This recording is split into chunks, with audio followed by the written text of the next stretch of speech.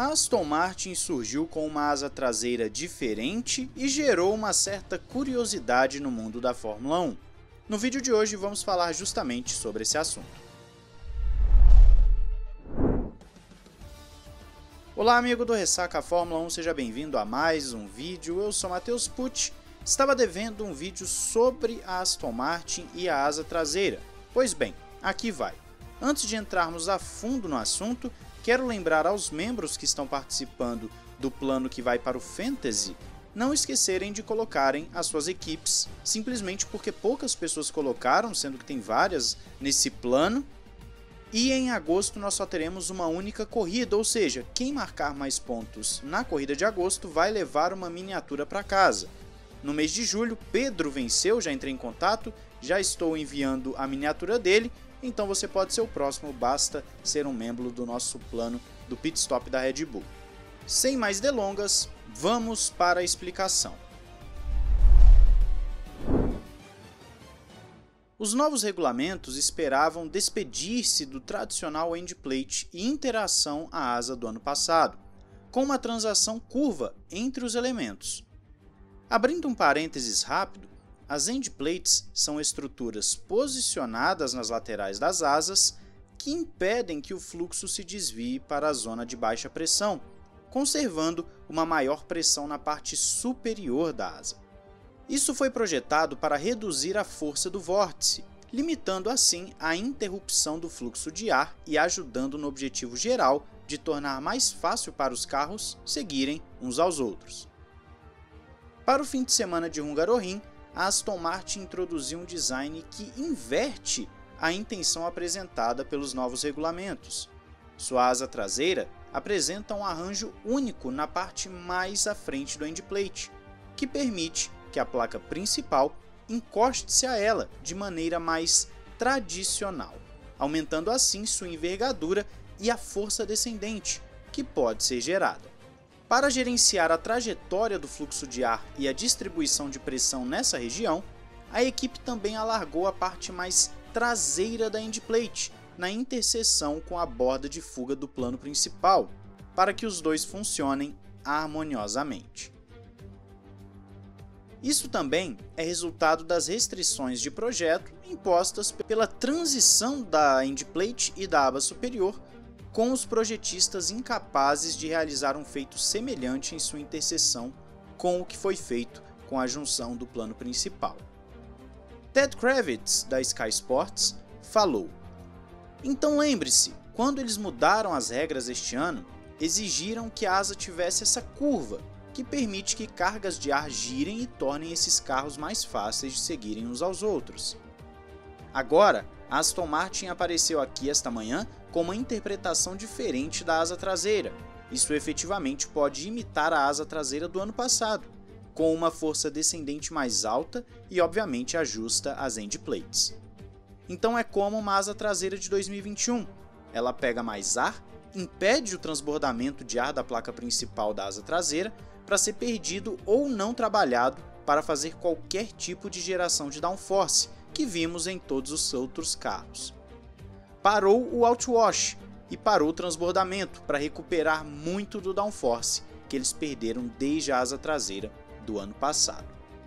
É uma solução totalmente elegante, mas a FIA pode optar por analisá-la e tentar reformular o regulamento para sufocar quaisquer desenvolvimentos adicionais nessa direção no futuro, uma vez que vai contra os objetivos gerais da revisão das regras de 2022.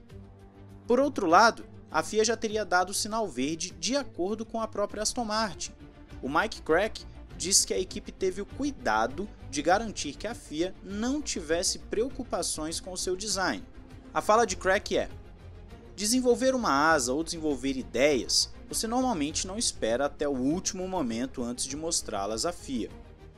Então estivemos em contato com a FIA durante todo o desenvolvimento para entender se isso é algo que seria aceito. Finalmente foi. Então, foi para nós o momento em que dissemos: ok, vamos em frente. Eu acho que não há nada de especial no fim do dia, é uma interpretação das regras e desenvolvemos a asa de acordo com isso em conjunto com a FIA, e é isso basicamente. As equipes rivais da F1 podem tentar proibir o desenvolvimento para temporadas futuras se houver apoio suficiente para a mudança na comissão de Fórmula 1. Mudar as regras exigiria uma supermaioria, 28 votos a favor de um total de 30, incluindo 10 representantes da FOM e da FIA, e um de cada uma das 10 equipes. O chefe da Red Bull, Christian Horner, disse que está preparado para seguir as orientações de design da Aston Martin Acho que se está em conformidade com os regulamentos, isso é o principal. Isso abre outra avenida que é interessante. Vamos lembrar que a Aston Martin introduziu uma extensa atualização para o carro no Grande Prêmio da Espanha e assemelha bastante ao RB18 da Red Bull.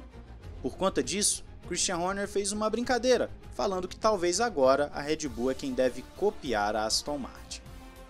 É difícil quantificar o ganho que a asa gerou uma vez que os treinos não foram muito animadores para a equipe, mas a performance em corrida foi melhor. No final das contas, é muito difícil especificar se é realmente um game changer, como alguns têm citado, ou se é apenas uma solução que trouxe resultados bem normais.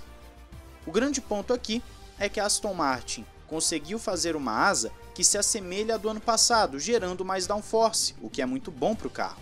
O problema é que, em tese, coloca mais turbulência para o carro de trás, e isso seria contra o espírito do regulamento de 2022, cuja ideia é justamente fazer com que os carros sigam mais próximos uns dos outros.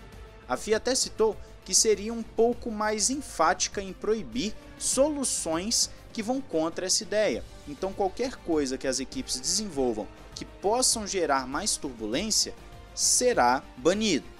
O problema é que a Aston Martin fez, passou pela FIA e a princípio está tudo bem. Ou a turbulência gerada não é tão grande, o que possibilita o carro de trás perseguir mais próximo de qualquer forma, ou temos o problema da FIA já estar abrindo mão da sua filosofia. Só que também tem outro detalhe aí que cai naquilo que eu estou falando para vocês, por exemplo, da questão do assoalho de Red Bull e Ferrari. Não existe espírito do regulamento. Se o regulamento foi escrito e a Aston Martin está dentro dele, não importa se a ideia era outra, o que importa é o que está escrito. Mesmo que gere mais turbulência, se está em conformidade com o regulamento, não há nada a ser feito a não ser aceitar e vamos ver se o resultado vai ser tão bom mesmo a ponto de outras equipes copiarem, principalmente a Red Bull, que tem um conceito que é bem parecido com o da Aston Martin. Mas é isso, quero saber a sua opinião aí nos comentários. Não esqueça de se inscrever e ativar o sininho para não perder nada aqui no canal. Um grande abraço, valeu e falou!